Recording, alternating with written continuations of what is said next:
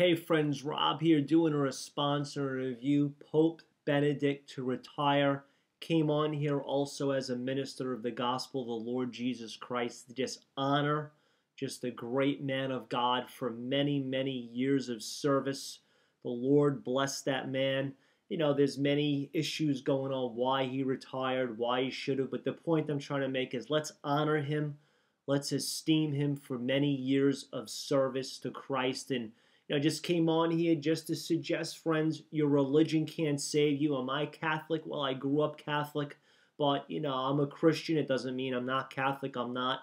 I'm a Christian. I'm not religious because the, re- the reality is, is religion will confuse you to the core. There are thousands of different kinds of religion, but only a relationship with Jesus, only a relationship with God through his son can save you, my friends. The Pope can't save you, your priest, your church, your pastor, your parents.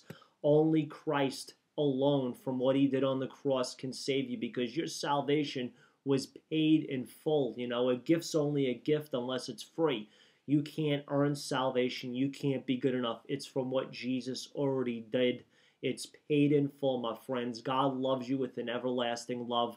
The book of John's very clear in the third chapter, 16th verse, simply states, For God so loved the world that he gave as a gift his only Son, that if you would believe in Christ, you'd not perish, you'd have everlasting life. So God gave his Son as a gift. And again, a gift is only a gift unless it's free. If someone says you got to give me, you know, five dollars a week for five years, that's not a gift. So we can't add to the cross through religious works. God has not necessarily not called us to works. He just hasn't called us to trust in works. We don't do works. I don't come on YouTube and preach.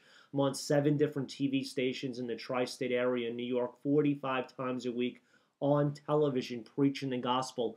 I don't do it because I'm going to get, you know, aluminum siding on my mansion in heaven. I do it because I love God. It's out of a relationship. And if you've never accepted Christ into your heart, the Bible clearly says today's the day of salvation. You can't outdo what God did. God gave us a free will. The Lord didn't create robots, so you can accept Him due to obedience or you can reject Him due to disobedience. But know this we all control the doorknob to our hearts. So if you want to recite a simple prayer after me, say, Jesus, thank you for dying on the cross for my sins.